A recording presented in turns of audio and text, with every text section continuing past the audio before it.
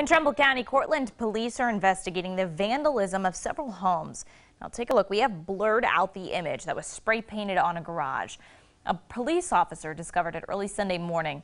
Two other neighbors reported similar damage. One had red spray paint on vinyl siding. Another found the paint on uh, their driveway.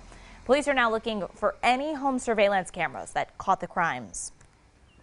It's just costing our residents money in cleanup and, and property, and, and, it, and it's a senseless crime. There's no purpose to it other than to cause destruction and damage.